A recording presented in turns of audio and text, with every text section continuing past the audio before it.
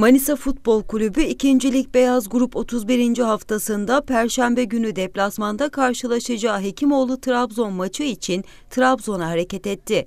Manisa FK taraftarları takımı meşaleler ve tezahüratlarla uğurladı.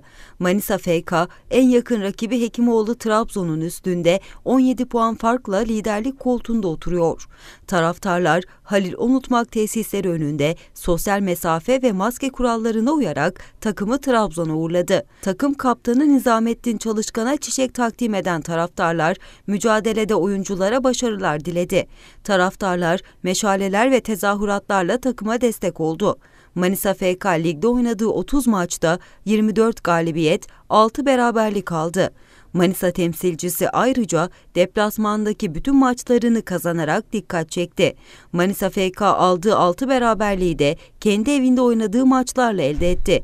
İki takım arasında ligin ilk yarısında Manisa'da oynanan karşılaşmayı Manisa FK 6-1 gibi farklı bir skorla kazanmıştı.